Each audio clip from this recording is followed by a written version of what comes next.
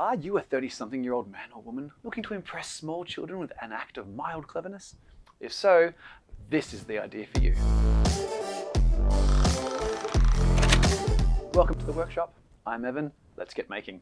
I've got really fond memories as a kid climbing mulberry trees and getting that purple juice all over your shirt, but it's hard to climb a tree. So here's what you need some kind of pole, probably about your height, something that's light enough so that you can probably do it one handed. Something like a broom handle is totally fine. What you need is a bottle. A 1.25 litre bottle is perfect. Take off the label. Because this is a clear bottle, it's really hard to see how I'm going to cut this, so I'm going to mark it out for you first. Let's see. It says shake well before using. A few moments later. The cut is going to be basically from this point here, follow along. The cut is going to be along here, down here, along, back up, past this little join there, done. You can't just cut a little shape here uh, and stop on the side. It's got to come up, way over the top here, and I'll show you why in a moment. Let's cut it out. Don't hold the bottle like this. When you're cutting, it's going to go straight into your hand. Put it down on the surface, give it a puncture, like that. Now you can cut it.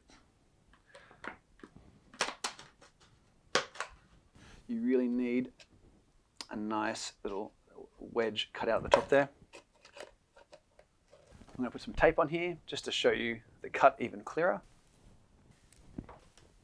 I'm going to show you you need to have some uncut bit just down here to hold the mulberries as they fall in and tapers to a point. The point's very important. Now using my demonstration mulberry, the idea is that you get your mulberry picker, you'd come walking along, poke it up two meters up into the tree, you'd grab it, just position it just right so the mulberry is hanging just into the wedge here. And when you pull, it breaks and drops. it. Let's tape it to the pole. Eventually. Now that we're done, let's go test it out.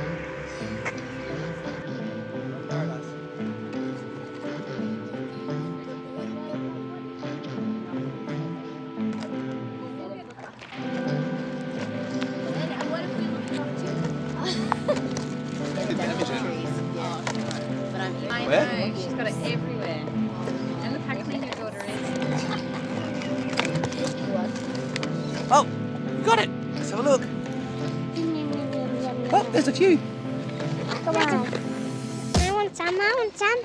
And that's how you impress small kids. If you like this video, come back later. I'll have some more videos up. Don't forget to make, fail, learn, repeat.